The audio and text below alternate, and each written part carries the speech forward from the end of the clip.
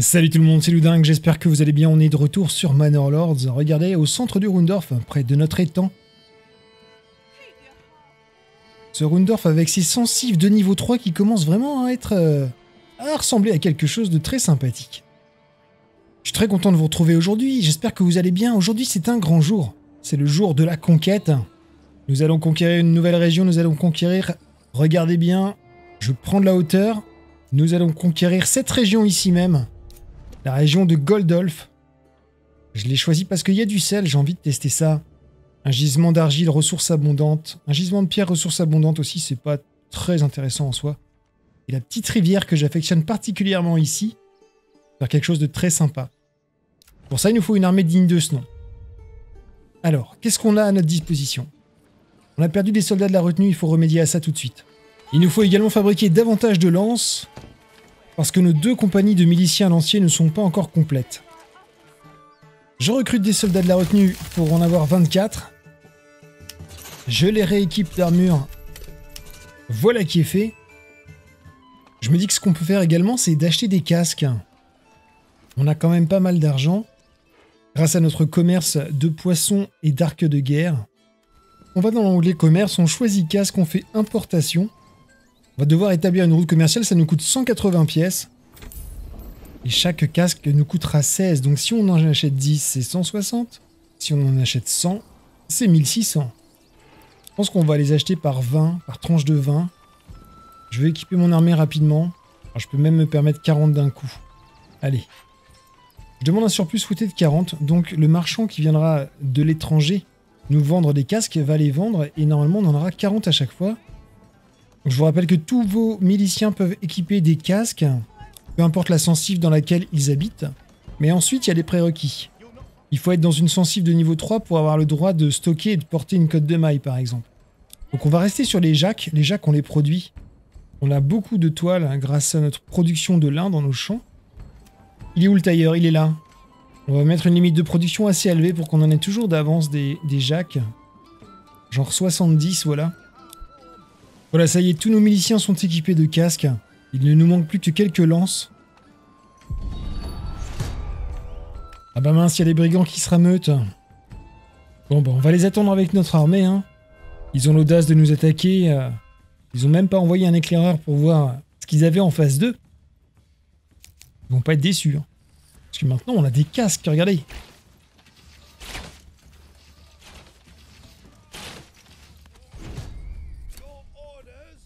Je vais charger ceux-là pour les intercepter. J'ai quelques archers qui se sont fait attraper. Voilà, ils sont en déroute. Je crois qu'on a perdu un milicien lancier et un soldat de la retenue. Je vais dissoudre temporairement les unités, on va juste compléter ce qui nous manque. Oui, voilà, on a perdu un soldat de la retenue. Hop, c'est bon, c'est réglé. Ah oui, il manque quelques jacks parce que je vous ai dit une bêtise, le jack, il faut quand même une sensive de niveau 2, mais pas le casque. Je ne sais plus ce que je vous ai dit. Le casque, c'est pour tout le monde. Le jack, c'est à partir de la sensive niveau 2. J'ai encore des sensives de niveau 1, c'est pour ça. Bon, c'est pas grave, on y va. C'est l'heure de la conquête. On va engager les mercenaires, les brebis galeuses, qui sont des archers. Deux unités. Une unité d'archers lourds. Ils ont juste une grosse armure en plus. Et une unité d'archers légers. Archers classiques. On les engage. Et ce qu'on va faire, on va aller dans la région qui est ici. La région de Goldolf, celle qui nous intéresse. On clique dessus et on choisit revendiquer par influence. Ça coûte 2000 points d'influence. On valide. Et là, revendication en cours. On va voir la réaction du baron. Et le gant a été jeté. C'est la lutte pour Goldolf. Nous avons 89 jours pour atteindre le champ de bataille qui se trouvera ici. Je rallie les troupes près du manoir. Et je les mets en route vers le champ de bataille. Et on peut voir nos troupes qui sont en marche. Avec notre village derrière, l'étang, le manoir. J'ai des petites fourmis.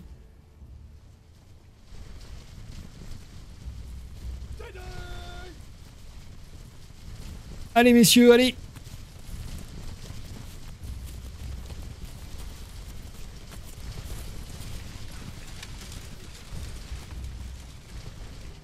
En route pour faire la guerre. Alors il a quoi le baron? Il a de l'infanterie légère? Quoi deux? Des archers, soldats de la retenue et brigands. C'est pas très impressionnant. On va s'établir ici dans cette plaine. J'envoie les archers mercenaires à l'orée du bois ici pour euh, attirer l'ennemi, engager la bataille. Ça marche. Ils viennent vers nous immédiatement. Maintenant, je vais les faire reculer. Normalement, l'ennemi, voilà, l'ennemi s'engage. L'ennemi va passer le petit ruisseau qu'il a. L'ennemi a soif de sang. Il veut combattre. Et il va pour cela se mouiller les pieds.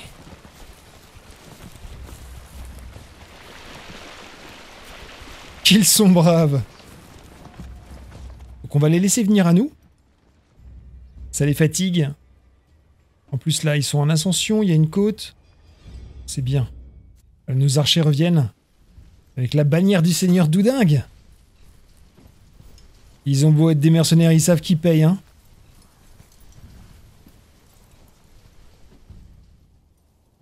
On va les laisser se reposer un peu.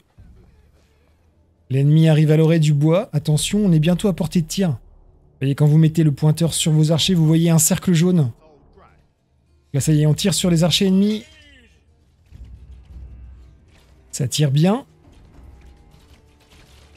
On a deux unités, trois unités qui tirent sur les archers ennemis. Ça devrait peut-être faire quelque chose. Mais il est temps de faire reculer nos archers déjà parce que on va se faire charger ici. De chaque côté.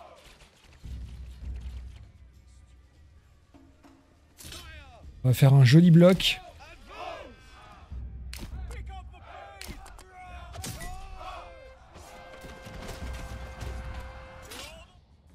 Je vais charger la retenue ennemie avec notre retenue. Et on va les mettre en position, euh, défendre la position, parce qu'on est en sous-nombre.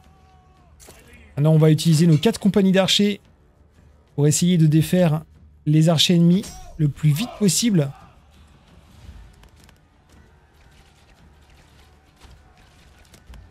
Ils vont se prendre des volets de flèches. Et ça les décime littéralement. Hein. Et voilà, ils sont décimés. Par contre, on s'est fait charger par les brigands. C'est pas grave, on va passer sur le côté. Avec les archers, vous pouvez même permettre le tir allié. Hein. Faut pas hésiter hein, à faire ça. Hein. Je vais le faire. Hein. Je vais faire un tir allié avec cela.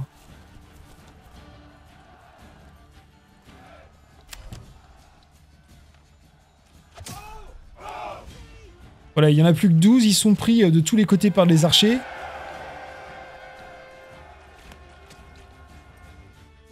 Ici, on a nos lanciers qui sont en mauvaise posture. On va les mettre en défend de la position. C'est un peu tardif, j'ai pas gardé l'œil sur eux. J'envoie les soldats de la retenue dessus. Hey, j'ai encore mon autre compagnie de lanciers. En fait, ça va, j'ai encore beaucoup de, de soldats de corps à corps.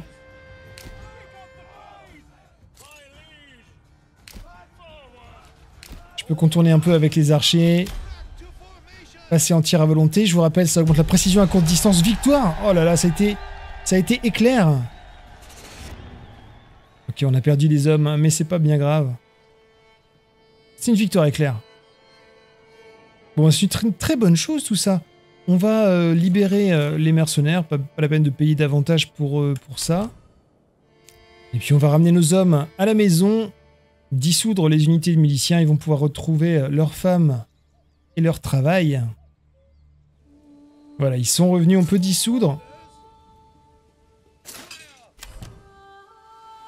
Merci messieurs. Et on va donc aller conquérir une nouvelle région, région qu'on a conquise, Goldolf ici. Et alors pour vous installer dans une nouvelle région, c'est très simple, vous allez euh, dans le menu de construction, vous choisissez administration, et vous avez une option qui s'appelle le camp de colons. Ça coûte 250. C'est un camp à installer sur un territoire inoccupé afin de le coloniser. Il y a des provisions de départ et 5 familles.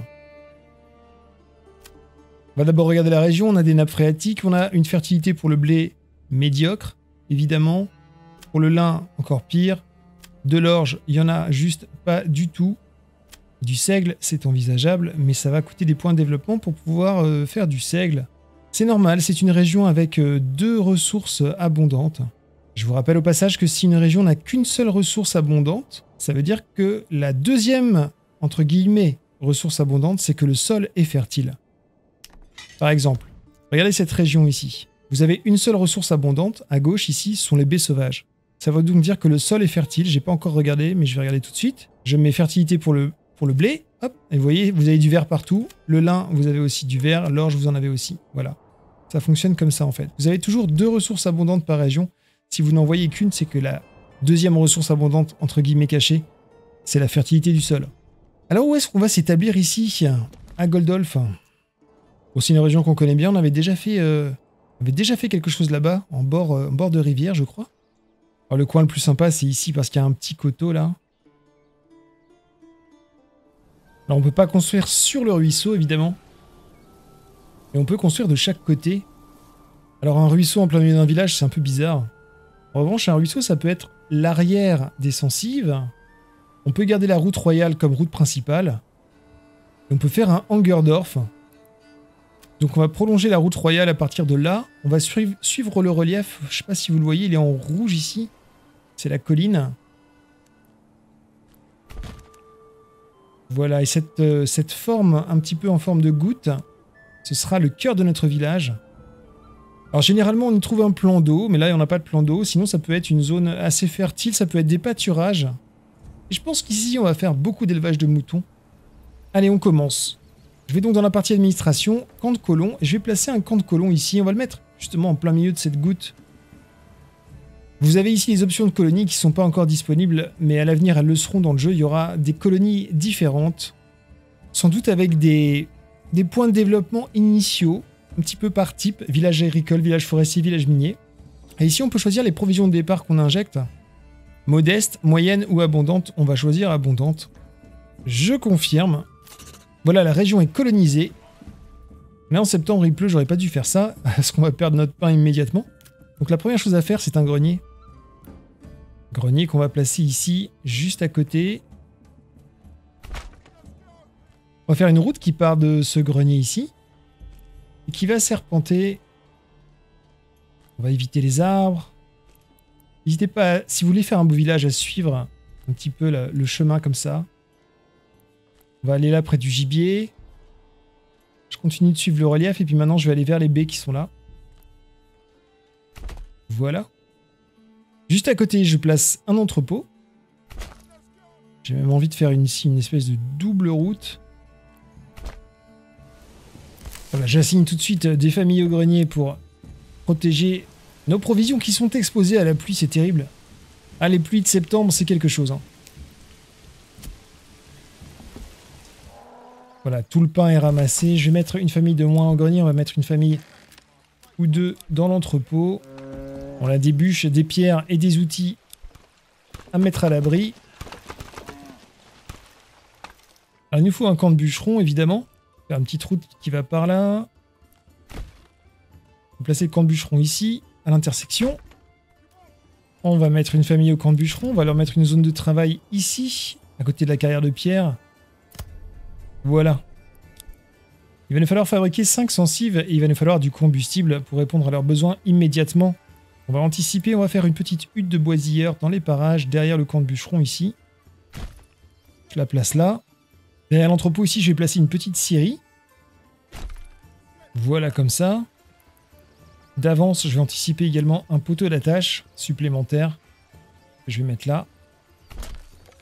Je vais tracer une route qui passe derrière. Et qui va de l'autre côté de l'entrepôt ici. Il va nous falloir un puits évidemment. On va le placer ici, à côté des bûcherons. Voilà, c'est construit. Je vais affecter une famille à la Syrie. Je vais leur demander de nous faire une réserve de planches. On est 20 planches. Alors pourquoi 20 C'est parce que c'est le nécessaire requis pour faire une église. Et l'église est très, très importante. Plus vite vous avez l'église, plus vite vous pourrez développer votre village. Voilà, on a nos 20 planches. Je mets en pause la Syrie. Maintenant, on va faire nos premières sensives. Alors, je vais faire une route qui passe derrière ici euh, les gisements de pierre. Et une autre qui rejoint comme ça. On va tirer ici nos premières sensibles. Il faut qu'on puisse loger nos cinq familles. On va commencer comme ça. On va continuer à suivre le relief ici. Rejoindre la route qui est là. Non, elle est pas belle. Je l'enlève. Voilà, je recommence. Comme ça, c'est mieux, ça serpente bien. Ici en face, je vais faire une sensive jusqu'à la rivière. Sensive double comme ça, avec une arrière-cour. On y installera un potager. Une famille nous a rejoint, on va la mettre à la hutte de boisière pour préparer du bois de chauffage. Il va nous falloir un marché. Je vais déplacer ce poteau d'attache ici. Je vais le mettre à côté de l'autre près de la scierie. L'hiver arrive, il faut vite qu'on loge ces familles. Je vais faire une petite route secondaire ici. On va utiliser cette zone pour faire un marché. On a 16 emplacements, c'est suffisant pour commencer. les premiers étals sont construits, les bûches et la nourriture. Évidemment, on va construire ici une cabane de chasseurs. Et on va également préparer une hutte de cueilleurs ici. Puisqu'il faut, pour euh, parfaitement répondre à leurs besoins, deux euh, types de nourriture différents. Dans cette sensive niveau 1 ici, on va mettre un potager près du ruisseau. On va commencer à mettre en place les chasseurs. On délimite leur zone de travail sur la zone où il y a le gibier ici. Ce qu'il nous faut rapidement, c'est une tannerie. Je la place derrière le camp de bûcheron. Ici, je la relie à la route. On va faire une sensive supplémentaire ici.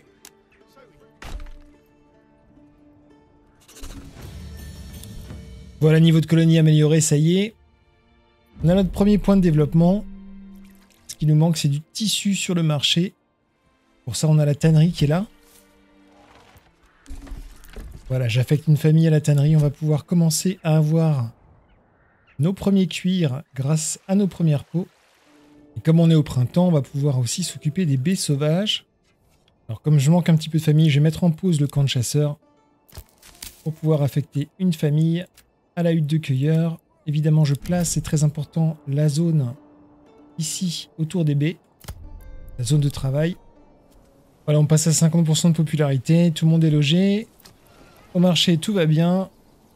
On manque encore de quelques pots, de quelques cuirs faits à partir des pots, mais ça ne saurait tarder. Ici, je fais un second potager. Au bord de la rivière, c'est mignon comme tout.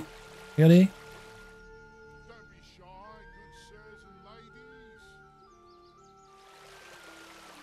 C'est chouette comme ça. Bon, cette région, il va falloir commercer. Hein. Ça me paraît très important. On va donc construire un comptoir commercial. Je vais le placer ici, près du croisement, sur la route royale. Je continue à faire des sensives.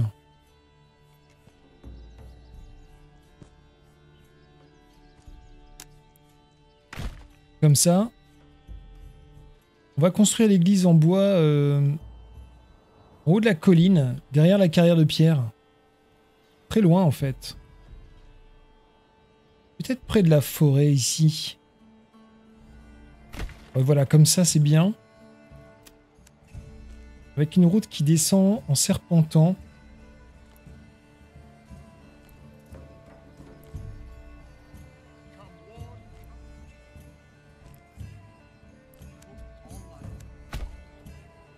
Voilà, au travers des arbres comme ça. Notre petite carrière de pierre, j'ai un emplacement juste là. C'est parfait. Je vais l'installer là. Je vais me mettre en pause pour l'instant parce que je suis en train de construire beaucoup de choses. J'ai pas besoin de pierre dans l'immédiat. Juste pour réserver l'emplacement. Le comptoir commercial est construit, c'est une bonne chose. Alors on a un point de développement. Euh, l'idée intéressante ici, sur une région comme celle-là, c'est d'aller jusqu'à l'extraction souterraine pour rendre euh, la mine de pierre et surtout la, mine d'argile pour qu'elle ait des ressources infinies en fait. Mais ça, c'est l'idée à long terme. L'idée à court terme, c'est d'avoir des moutons. Donc on va acheter l'élevage de moutons. Voilà. Pour acheter des moutons, il va nous falloir une foire au bétail. Je vais la placer en face du comptoir commercial ici. On aura besoin d'une bergerie également. Je vais placer juste à côté de la foire au bétail.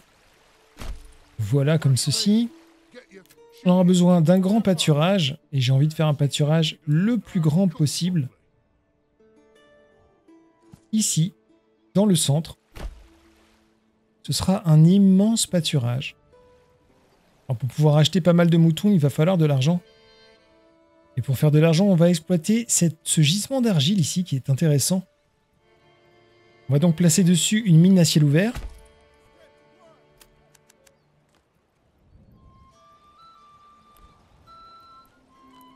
Faire serpenter un chemin comme ça. Va venir directement à côté du comptoir commercial. Ici, je vais bâtir deux choses. Je vais bâtir un entrepôt. Voilà. Et je vais bâtir un four à tuiles derrière le comptoir commercial. Ici. L'entrepôt, le nouveau, qui est à côté du comptoir commercial, je vais le paramétrer. Je vais dire d'y stocker uniquement des tuiles et du minerai d'argile pour l'instant. Et je désactive tout le reste. Je mets une famille à la mine à ciel ouvert pour récupérer de l'argile, évidemment. Qui sera donc stocké dans cet entrepôt. Pendant ce temps-là, le chantier de l'église est en cours.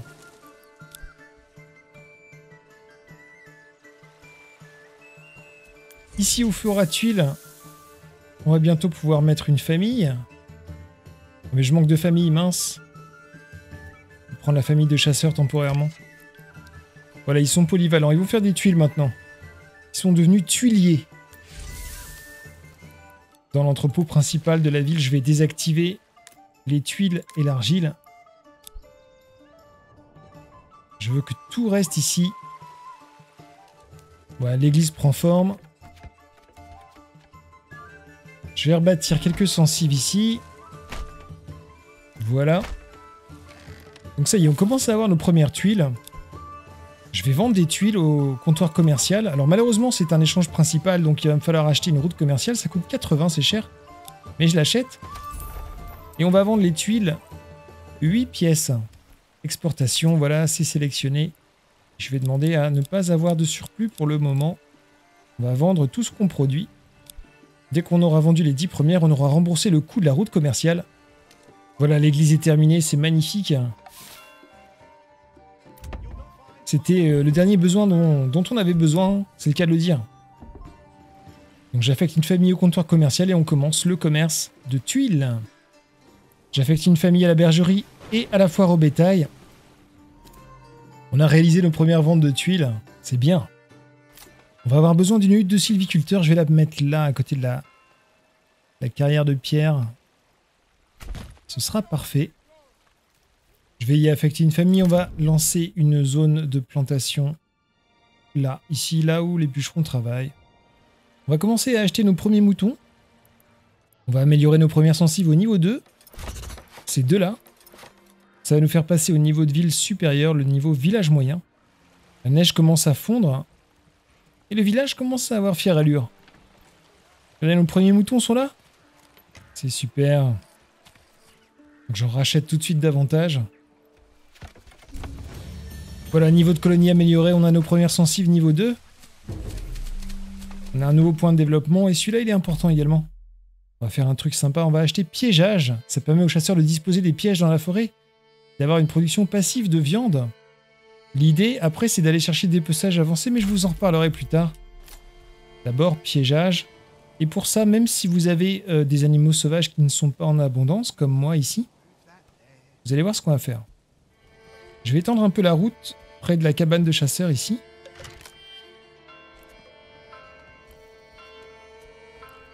Comme ça. Et je vais bâtir trois autres cabanes de chasseurs. Donc en tout, on en aura quatre. Comme on commence à avoir de la laine, on va fabriquer un atelier de tissage. Je vais le placer ici, pas très loin de l'entrepôt central. Faire une petite route. Voilà. Alors pourquoi les quatre cabanes de chasseurs Eh bien regardez, je mets une famille dans chaque camp de chasseurs.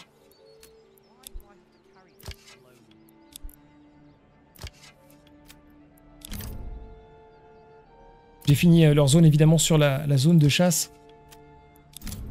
Comme ceci. Je vérifie bien que les quatre sont dessus. Et en fait, grâce au point de développement qu'on a dépensé dans piégeage, ça va faire que la production passive de viande dans la forêt va être augmentée en faisant 4 cabanes de chasse avec un chasseur dans une famille de chasseurs dans chaque. Ça devrait donner beaucoup plus de viande. Ce sont des petits calculs que j'ai fait. Normalement, ça fonctionne, on va voir ça. Mais revenons à nos moutons. Nous avons actuellement 6 moutons dans le pâturage. Ils sont là, mais j'en compte que 5. Où est le sixième? On a perdu un mouton. Donc on va mettre une famille à l'atelier de tissage et on va commencer à utiliser la laine. Ça va nous permettre de produire du fil. On va améliorer cette sensible au niveau 2 ici. Et on va y installer une boucherie. Voilà la belle boucherie. Donc on peut produire de la viande à partir des moutons ou des agneaux. Mais pour cela, il va nous falloir plus de moutons, et ça, on va le voir au prochain épisode. Regardez, on en a déjà 9 des moutons ici, dans notre grand pâturage. J'augmente la quantité d'achat à la foire au bétail. On va avoir plus de moutons, donc plus d'agneaux, plus de reproduction. Et on pourra commencer à utiliser la boucherie lors du prochain épisode. Je suis assez content de ce qu'on a fait pour commencer ici. C'est un beau village. Il va être très différent du premier. Différent par sa forme et aussi différent par, euh, par ses modes de production. J'espère que ça vous plaît. N'hésitez pas à me dire ce que vous en pensez en commentaire. Merci pour vos likes. Comme d'habitude, je vous dis portez-vous bien, jouez bien et à très bientôt. Ciao ciao